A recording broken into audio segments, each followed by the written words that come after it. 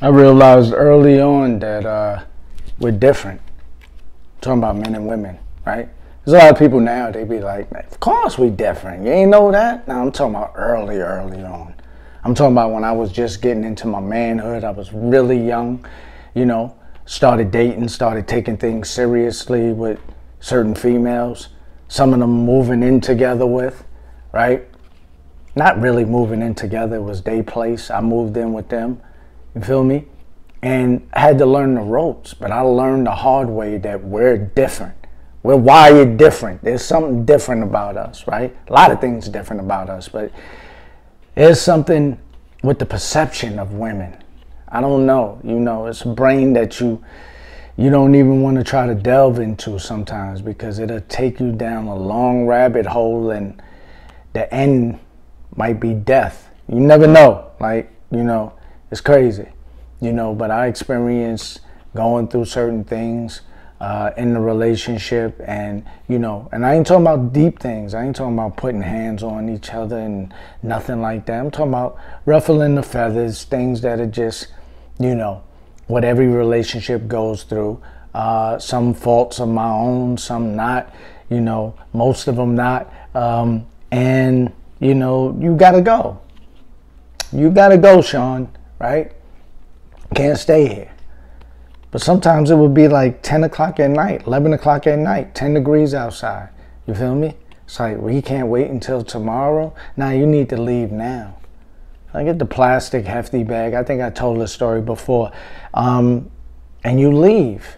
But every time I left, there was something in the back of my mind that said, nah, this can't be serious. You know, and I'm talking about not every time I left this situation. I'm just talking about in general because it happened a few times, right? Um, but every time you leave, you're like, nah, it can't be serious. Freezing cold outside. Hear the wind blowing, it's seeping through the window sills, right? The cold air, it's that cold. You feel me? Um, you got a hefty plastic bag in your hand full of clothes. You're dragging it down the street, but you think you're gonna always get that call back. Like the window is just gonna open and be like, Sean, come back. Just wait till tomorrow, sleep on the couch. I've had that happen sometimes, but I'm talking about in this situation, like it didn't happen. It's like, that's it, you know? Um, the reality always comes when you make that call you wait like three, four hours because you got pride and you're like this. Nah, then well, she don't want me there. I'm not going. I'm not going back. I'm not knocking on no door. I'm not begging nobody whatever. But then it starts getting really cold, like two o'clock in the morning. You're like, nah, I need to make this call, right? So you make the call and you hear the hello. You know that that real tired voice, hello, and you're like, hello. What was you doing? Sleep? I'm out here and it's about negative 16 degrees and I'm sitting on a crate in front of the 24 hour bodega with a hefty bag and you talking about hello with a crackle in your voice like you've been asleep for seven hours? Alright, I see where we at, right? But I realized at that point that women could just turn off like a light. I don't know what it is, how they do it. But in my mind, I'm thinking, I could never do that to you.